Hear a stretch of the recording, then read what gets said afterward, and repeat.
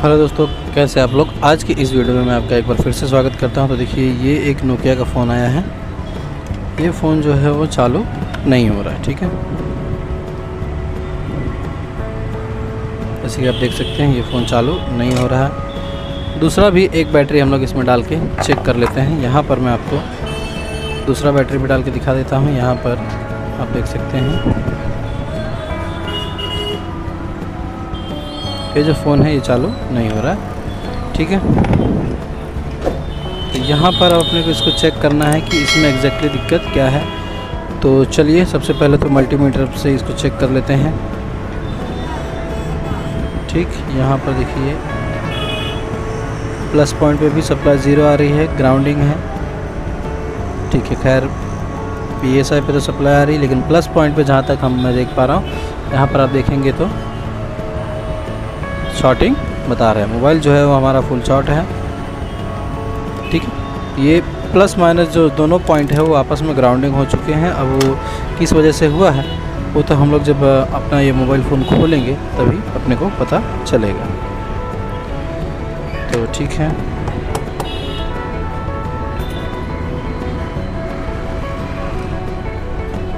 Mobile phone को खोलते हैं।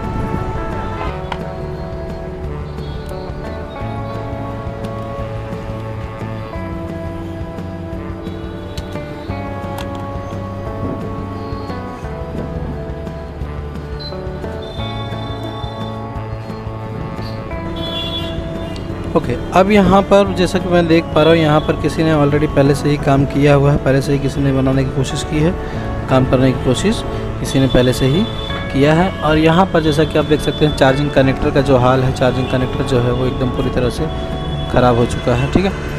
तो सबसे पहले तो मैं कनेक्टर को निकाल देता हूँ बाहर।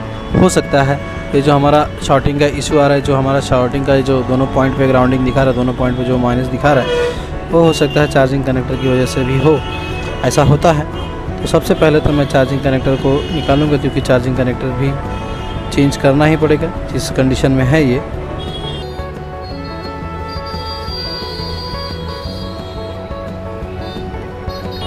ठीक है चार्जिंग कनेक्टर हम लोगों ने निकाल दिया है। अब यहाँ पर कनेक्टर निकाल देने के बाद इसके जो लेग्स हैं चार्जिंग कनेक्टर के जो पॉइंट्स बचते हैं, उन पॉइंट्स को अपने को क्लीन कर लेना है, उन पॉइंट्स को अपने को साफ़ सुथरा कर लेना है।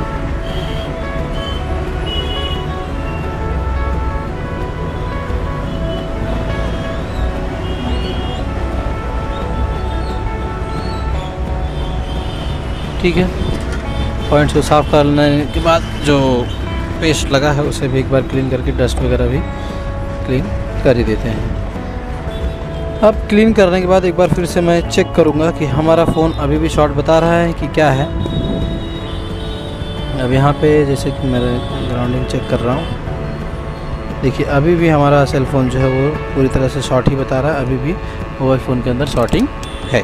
तो अब एग्जैक्टली मोबाइल फ़ोन के अंदर शॉर्टिंग कहाँ पर है? कौन से कंपोनेंट से आ रहा है? कौन सी आईसी से आ रहा है? कौन सा रजिस्टर का कैपेसिटर है या कौन सा चीज़ इसमें शॉर्ट है उसको देखने के लिए इस पेस्ट का हम लोग इस्तेमाल करेंगे। ये है रोजिन पेस्ट रोजिन पेस्ट को अप्लाई करने के लिए आपको ज़्यादा कुछ नहीं करना है। आप आयरन की मदद से इसको यूज़ कर सकते हैं। आयरन को ऐसे पेस्ट के अंदर डालिए और ये जहाँ पे आपको अप्लाई करना है, वहाँ पे आयरन को ऐसे ऊपर की तरफ़ से ऐसे लगाते जाइए। रोजिन पेस्ट वो अपने आप अप्लाई होते जाएगा, ठीक है?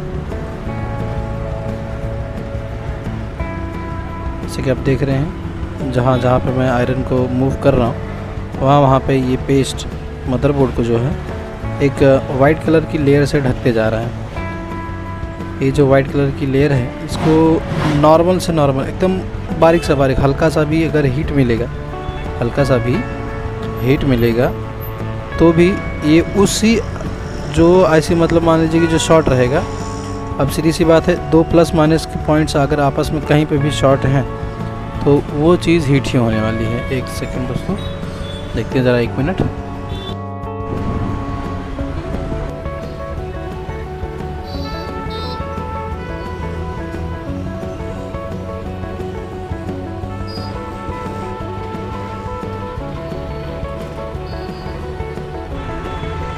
यहाँ पर थोड़ा सा मुझे दिक्कत हो रही है क्योंकि मेरा शॉप जो है दोस्तों वो एक ओपन प्लेस पे है। इसकी वजह से ये जो रोजिन पेस्ट मैं लगा रहा हूँ, ये हवे की वजह से थोड़ा उड़ जा रहा है।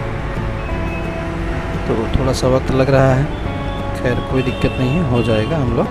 अप्लाई कर लेंगे।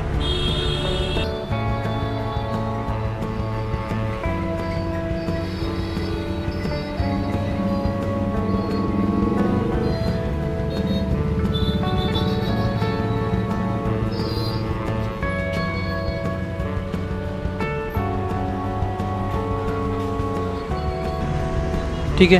तो चलिए, यहाँ पर लगभग अप्लाई हो चुका है हमारा। अब मेरे पास देखिए, ये मैंने एक डिवाइस बनाया है, खुद की मदद से ही बनाया है। एक मैंने शॉर्ट किलर डिवाइस बनाया है। इसको यहाँ पर, अपने को मदरबोर्ड पर कहीं पे भी एक जगह पे सोल्डिंग करके ग्राउंडिंग बना देना है।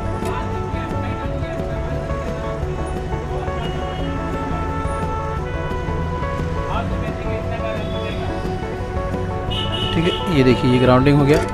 अब अपने को क्या करना है, जो रेड वाला है, ये जो प्लस पॉइंट है, उसको लेके मदरबोर्ड के ऊपर कहीं पे भी टच करना है। कहीं पे भी मतलब प्लस पॉइंट्स के ऊपर टच करना है। तो जहाँ पे भी ये अपना मोबाइल फ़ोन शॉर्ट करता रहेगा, वहाँ पर वो हीट होएगा। देखते हैं कहाँ पर। तो देखिए, ये यहाँ पर आपने देखा, जैसे कि यहाँ पर हीट हुआ है। एक बार मैं आपको फिर से दिखा देता हूँ। रोजिन अप्लाई मुझे वापस से करना पड़ेगा। यहाँ पर देखेंगे। यहाँ पर देखेंगे। मैं रोजिन वापस से अप्लाई कर रहा हूँ।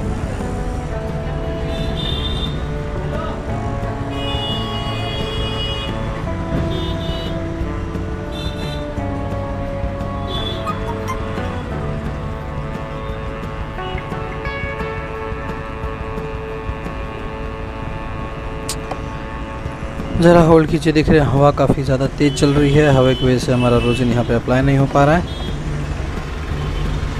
खैर।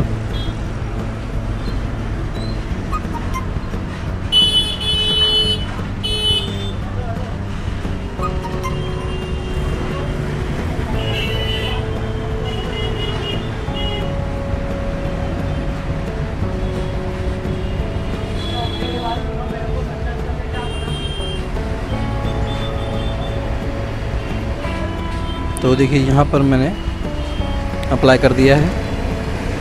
ठीक है? अब मैं आपको वापस से यहाँ पर दिखाऊँगा। देखिए, ये प्लस पॉइंट को मैंने पकड़ा। ठीक है, आप ध्यान से देखिएगा। यहाँ पर मैं इसको लगाऊँगा। ये देखिए देखिए, धुआँ जिस तरह, किस तरह से आप धुआँ देख पा रहे हैं, ये जो कंपोनेंट है ये वाला, ये शॉर्ट है। देखिए, ये वाला। ठीक है, इसको हम लोगों को कुछ नहीं करना है, इसको हम लोगों को नॉर्मली पहले तोड़ के निकाल देना है। अब वापस से मैं चेक करूँगा। देखिए, अब यहाँ पर कोई हीटिंग नहीं बता रही है। कोई हीटिंग नहीं, कोई कुछ नहीं। एक बार आप चाहो तो मैं आपको क्रॉस वेरीफाई करा सकता हूँ।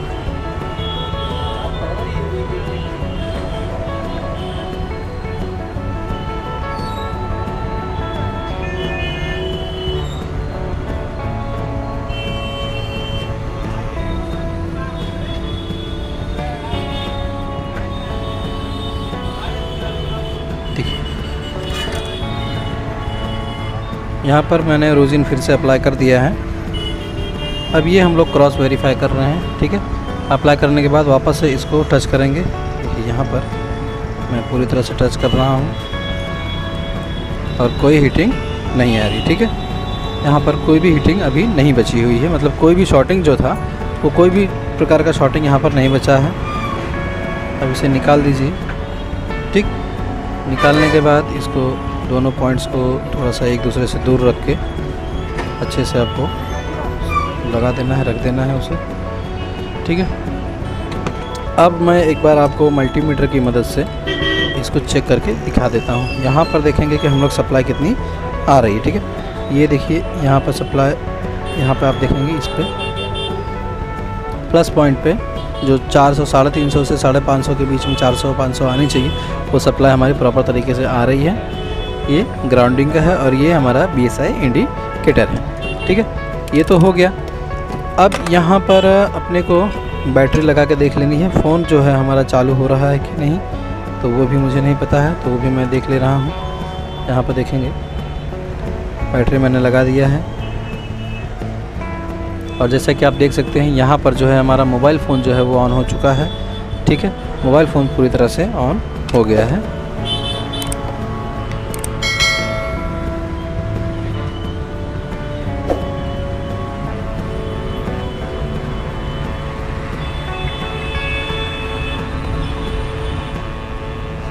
ठीक है? हमारा फ़ोन जो है सेलफ़ोन जो है, वो ऑन हो चुका है।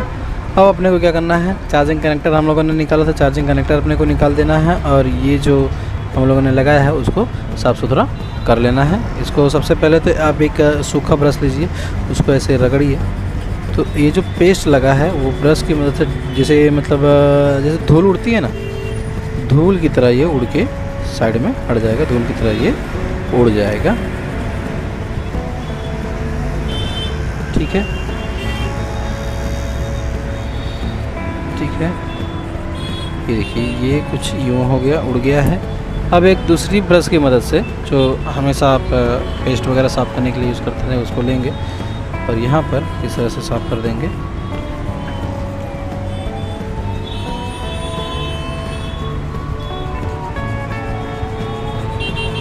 ये जो है हमारा यहाँ पर क्लीन हो गया।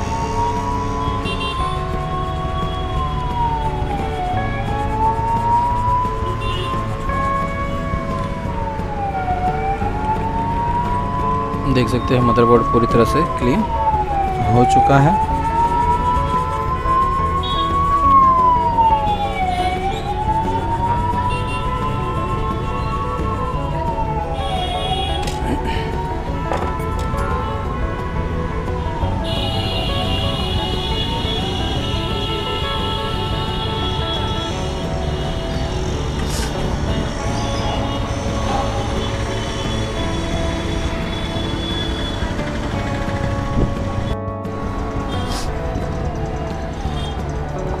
तो चलिए एक बार मैं आपको फिर से दिखा देता हूँ, हमारा सेल फ़ोन जो है वो चालू है कि नहीं।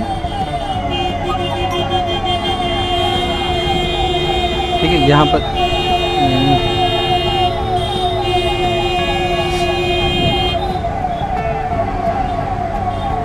यहाँ पे जैसा कि आप देख पा रहे हैं, हमारा जो मोबाइल फ़ोन है वो चालू हो रहा है, ठीक है। तो ऐसे कंडीशन में आपके पास जब भी कभी शॉर्ट होने वाला मोबाइल आए शॉर्टिंग वाला मोबाइल आए तो उसको किस तरीके से ठीक करना है उसे किस तरीके से बनाना है उसका जो तरीका है उसका जो मेथड है आप इस तरीके से बना सकते हैं ठीक है? तो फुल शॉर्टिंग वाले मोबाइल का सोल्यूशन आज की इस वीडियो में आपने देख लिया है तो कनेक्टर लग चुका है तो यहाँ पे कनेक्टर को क्लीन कर देते हैं खाली। और आप कनेक्टर देख सकते हैं किस तरीके से हमने जो है सोल्डिंग किया हुआ है एकदम प्रॉपर तरीके से, ठीक है? और अब कुछ करना नहीं है मोबाइल फ़ोन को खाली फिट कर लेना है।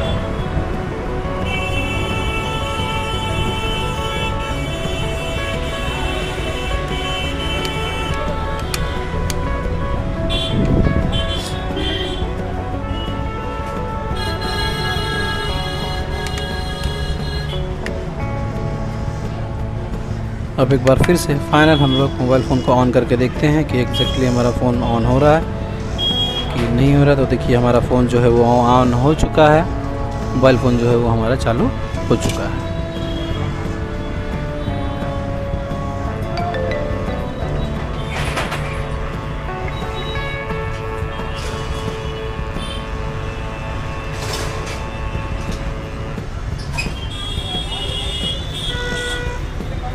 तो जैसा कि आप देख सकते हैं, हमारा मोबाइल फ़ोन जो है वो चालू हो चुका है। और इसके बटन्स वगैरह भी सब कुछ प्रॉपर तरीके से काम कर रहे हैं, परफेक्ट तरीके से चल रहे हैं। तो खैर ठीक है, हमारे मोबाइल फ़ोन के अंदर और कोई दूसरी कमी बची नहीं है। और आप मोबाइल फ़ोन का साउंड भी सुन सकते हैं। अगर इसमें कोई रिंगटोन कहाँ है? ठीक है, ये रहा रिंगटोन।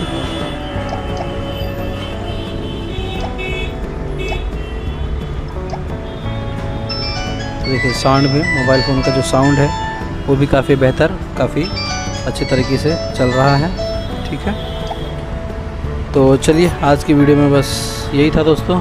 यहाँ पर अब इस तरह की कोई भी दिक्कत आती है, जैसे आपके पास फुल शॉट मोबाइल आता है फुल शॉट वाले मोबाइल फ़ोन को किस तरीके से ठीक करना है, कैसे उसे बनाना है, इसका तरीका अब आपको पता है। आप इसे भी वैसे ही ठीक कर सकते हैं, जैसे कि मैंने ठीक किया है।